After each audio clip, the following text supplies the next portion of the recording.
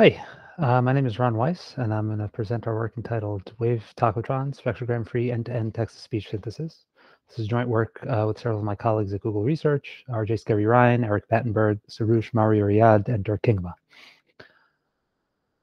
So what is Wave Tacotron? Uh, well, the idea is we want to train a TTS model and a single sequence sequence model that can go directly from normalized text or phoneme sequence to uh, waveform samples without having any intermediate representations like a spectrogram and without having you know multiple neural networks like a separate neural vocoder. And the way we're going to do this is we're just going to train a model to directly predict the sequence of waveform blocks of about 10 to 50 milliseconds. And again, no, no spectrograms anywhere. The goal of this work, in addition to just uh, simplifying the architecture, is to do fast uh, waveform generation. So let's see how we do it. Um, so the model is actually based off of the Tacotron uh, sequence-to-sequence TTS model. And this is sort of uh, decomposed into several different components. There's an encoder neural network, which takes a sequence of input phonemes or uh, characters, and that just maps them to a latent uh, uh, representation. That gets passed through an attention network to an autoregressive decoder, which basically generates MEL spectrogram frames uh, in a sequence, sort of one frame at a time in an autoregressive way. Uh, and so this spectrogram is then uh, passed into an independently trained uh, vocoder network. In the tacotron literature, we usually use a WaveRNN um, to generate uh, waveform samples from the intermediate spectrogram representation. And so WaveRNN is, is sort of a, gives really high quality synthesis results, but it generates the waveform sort of one sample at a time in an autoregressive way. So it's actually quite slow. And we're hoping to replace that with something uh, faster, integrated training end to end. So how do we do that? Well, essentially, we're going to repurpose the Tacotron network, uh, throw away the vocoder, and essentially um, replace the spectrogram frame uh, generation with a, uh, a, network that generates a, a, sequence of waveform blocks. And so what's a waveform block? We're just going to take the 1D uh, uh, target signal. We're going to cut it up into non-overlapping segments. By default, we use a segment size of 960 samples, which is 40 milliseconds at a 24 kilohertz sampling rate. Um, and then, uh, you know, we're going to train the model to predict these things. And so the result is a, again, a block autoregressive uh, waveform generator. And the idea is sort of each uh, step through the decoder generates a new block of waveform samples. And sort of uh, uh, the important distinction between this and, and WaveRNN is that uh, the waveform samples in each block are generated in parallel. It's just a one-shot generation of this full k-dimensional vector. Uh, it's not no sample-by-sample -sample autoregression or anything like WaveRNN. So that's that's where it gets the its speed from. Okay, uh, so what does the architecture look like? Well, um, it's essentially Tacotron. Uh, we have the exact same encoder, a similar attention and sort of decoder network, um, except we attach on top of the decoder uh, a conditional normalizing flow, which sort of uh, behaves in the, the same way as a vocoder. The idea is this uh, normalizing flow is just modeling this uh, conditional distribution of a the output samples for the block at time t, y of t, um, as a function of all of the previous uh, output samples through this autoregressive path and the text through the encoder. And so essentially the job of the Tacotron network is just to predict conditioning features for this flow. We don't have any supervision signal on here. It's not a spectrogram. I don't know what it is. It's whatever the neural network learns that it needs to, to solve this task. Um, and again, we can just train this network like Tacotron on its own, end to end, just directly maximizing the likelihood of the training data uh, using this, uh, this uh, uh decomposition.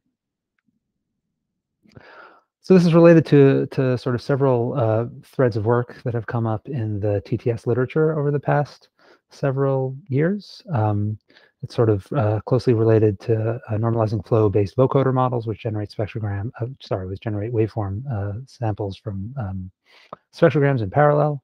Uh, more recently, there's also also been several papers that look at doing the, the text to spectrogram synthesis uh, using normalizing flows. Uh, most recently, there's this Flowtron model, which is actually probably most similar uh, to the model we described in this work because um, it's autoregressive, except again, we're going, we're sort of merging these two things together and training a single normalizing flow that goes from text to waveform samples.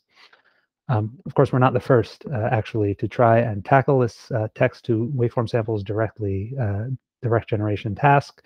Uh, there have been a few uh, uh, papers that have come out in the past few months, namely this EATS model and FastSpeech 2s, which go directly from text to uh, waveforms.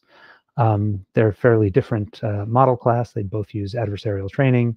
And another uh, distinction from our work is that they both use MEL spectrograms, either as a loss function or as an intermediate supervision signal somewhere during training, whereas we're just going directly to waveforms. There's no spectrograms anywhere. Okay, uh, so diving a little bit in, into what this normalizing flow looks like. Again, this is a, a neural network which models the joint distribution of uh, a block of K samples. We use an architecture uh, that models the, the signal at multiple scales. It's actually quite similar to the FloWaveNet neural vocoder. And the idea is we sort of uh, will model the structure of the signal in uh, M uh, five different stages, each stage sort of operating at a different time scale. And within each stage, there are N uh, steps of this sort of flow mapping. Um, and so the total, the total sort of depth of this network is about 60 steps. And what's interesting uh, or sort of unusual about a normalizing flow as opposed to sort of more conventional neural networks is it is designed to be invertible. Um, and so it's it's a network that maps essentially between waveform uh, samples in this sort of highly structured space to white noise, uh, which is sort of a highly uh, unstructured space. And in the noise space, it's sort of easy to generate samples, it's easy to measure likelihoods, uh, which is much harder to do directly in the waveform space. So you could, we could think of this network essentially as parameterizing a very complicated change of variables between this, again, the structured waveform space and uh, this noise space. Um, but we can sort of easily maximize likelihood and, and train these things. And I'll explain that in more detail on the next slide. All right, so uh, training looks uh, sort of broadly similar to Tacotron or, and, or any sort of sequence-to-sequence network training. We use teacher forcing uh, to maximize the likelihood. That is, um, you know, we condition the generation for this frame at time t on all of the previous uh, uh, frames. Um, uh, and at each step, what we're doing is we're actually, this is a little bit backwards, we're actually going to map from the ground truth target waveform to a sample of noise, sort of going through the network and uh, from the left to the right. Um, and so what that lets us do is sort of measure the loss relatively efficiently uh, as just the um, uh, likelihood of the generated noise sample under a simple spherical Gaussian, as well as this Jacobian determinant uh, term, which just uh, sort of uh, uh, captures um, how the space is warped between the sort of structured waveform and, and the noise. and that just maximizes the likelihood of the waveform. Um, the uh, uh, in addition, we have this end of sequence um, classifier loss, which you know, following Tacotron 2, is just a simple binary classification loss for sort of at every decoder frame. We just try and predict whether or not the current frame is the last frame of the uh, signal, so so the model knows when to stop during generation. Um, so sampling uh, basically uses this network in reverse. Uh, and so what we're going to do here is we're going to take the same flow that we had before, and we're just going to invert it. And by that, I mean we're going to take the inverse of each layer in this network, and then just we're going to uh, run through it in the op in the reverse order. So what we do to generate uh, a waveform uh, a block, um, a single frame essentially, is we're going to sample a noise vector from a spherical Gaussian. We're going to pass it through the inverse of the flow uh, from before with the same autoregressive conditioning that we had. Uh, and that's going to give us a new waveform block. And then we're just going to repeat this process to generate the full signal. And so once we have this sequence of waveform blocks, in order to generate the final one-dimensional waveform that we can actually listen to. Um, we don't do any even uh, completely unsophisticated signal processing like uh, overlap add or anything. We're just going to concatenate uh, these waveform blocks, and that's going to give us the final 1D signal. Okay, so we did a bunch of experiments uh, comparing several different uh, baseline uh, systems.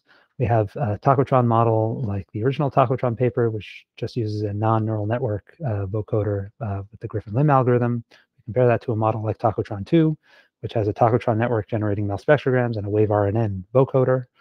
Um, in addition, uh, we experiment with changing that uh, vocoder for a flow-based model, which uh, uses the same architecture as uh, we use in the fully end-to-end -end wave Tacotron model, as sort of a point in between the two.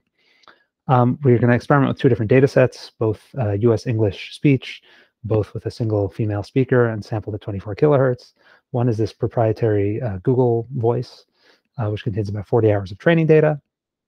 Um, and in addition, just to, for, for comparison purposes, we're going to train a model on the public LJ speech dataset, which is uh, smaller. It's, a, it's, it's, about half the size in terms of hours, uh, and smaller still because the average utterance, in terms of number of utterances, because the average uh, duration of the utterance is, is, is a good bit longer. So it's, it's, it's sort of a, a harder case for the model. All right, um, so we'll start off just by looking at generation speed uh, of these different models. Um, and so what is shown in this table here is just seconds, the seconds it takes to generate five seconds of speech for all these different models. Uh, we look at performance on uh, Google TPU, a tensor processing unit accelerator, as well as on uh, sort of conventional CPU. And uh, um, so what we find is actually Wave Tacotron is quite fast. Um, it's roughly not quite 10 times faster than real time. Um, real time would be five seconds per uh, five seconds uh, on TPU and about twice as fast as real time on CPU. Um, and the big contrast here is to Tacotron plus Wave RNN, which is quite slow. Um, it's about uh, 10 times slower than this Wave Tacotron model on TPU. Um, the other important thing to note is that there's uh, this K parameter, the size of the waveform blocks that are being generated in Wave Tacotron sort of uh, um, uh, controls the synthesis speed because as we decrease K, we have more blocks, we have to take more autoregressive steps and that sort of reduces the ability for the model to parallelize uh, generation. And so we see um, generation speed slowing down over there as we decrease k. Okay, um, so we also obviously uh, wanted to measure um, uh, performance in terms of quality, and so we did listening tests, as is commonly done, uh, where raters were um, asked to rate the, the speech naturalness on a five-point scale, and we just report mean opinion score uh, over here. We compare all the models that I described before um, and two variants of each one, one trained on character inputs, another trained on phoneme inputs. Um, and sort of broadly, what we find is that Tacotron plus Wave RNN gives us the best quality, sort of regardless of whether there's character inputs or phoneme inputs. We get an MOS of about 4.4. Um, Wave Tacotron is not quite as good, although you know it still gets reasonable uh, MOS. The, with phoneme inputs, it's at 4.2, but with character inputs, there's a big gap. It's only at uh, not quite 4.1.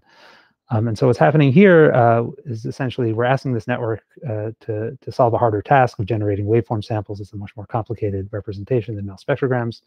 Um, and the loss sort of encourages it to focus on doing a good job generating this uh, waveform structure. And that sort of biases the model away from necessarily learning pronunciation unless we made the model bigger. Um, just to give you a sense of what these numbers uh, mean, here's a sample of Tacotron plus Wave RNN. Tajima Airport serves Toyooka and Wave Tacotron. Tajima Airport serves Toyooka. Both of them actually sound pretty decent. Uh, we also did experiments on LJ speech. Uh, again, the data set, the data here is a little bit more challenging because there's less of it and the utterances are longer. We get the same sort of trends. Tacotron with Wave RNN performs quite well. Um, Wave uh, Tacotron performs uh, almost as well, uh, or comes in second, although there's actually a much much larger gap here than there was in the previous data set. And, and we think this is just because, again, we're trying to train the model on a much harder task. We're giving it much less training data here.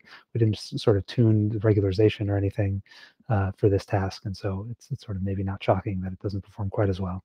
Um, that said, I mean, it, it still generates, uh, you know, intelligible speech. It's not terrible. Here's, here's a quick sample. While at sea, the captain of the ship was responsible for the security of prisoner but it's not as good as, as Tacotron plus Wave RNN. Uh, finally, I just want to sort of quickly note another advantage of the, the normalizing flow approach. Um, so what we did here is uh, we, we took a, a, piece of input text and we generated 10, 10 samples uh, from each model uh, for the same input text and just uh, computed the F0 track, the pitch track for each one of those samples and plotted them on top of each other. This gives you a sense as to how much variation there is in the pitch track or in the prosody across samples. And what we find is that the baseline tacotron is actually really quite consistent. Um, uh, regardless of what vocoder you use. But in contrast, Wave Tacotron is actually uh, has much more variation in terms of uh, these pitch tracks, which sort of uh, gives an indication as to one of the advantages of this maximum likelihood approach with a, with a powerful probabilistic model. Uh, the neural network is actually learning uh, to capture sort of several different realistic prosody renditions of the same sentence, and that's that's coming out in these samples. Okay, uh, and just to summarize, um, Wave Tacotron is a sequence-to-sequence TTS model. It generates uh, waveform samples in a block autoregressive way without any spectrograms. Um, we can train it just by maximizing likelihood. Um, it gives pretty high fidelity output, although it's not quite as good in terms of mean opinion score compared to uh, Tacotron 2 uh, like baseline. Um, but is much, much faster. It's about an order of magnitude faster in practice, which is a nice advantage. And it does a better job sort of capturing the, the space of prosody variation. We see this uh, URL for uh, sound examples that I couldn't didn't have a chance to play in this talk. And thanks for listening.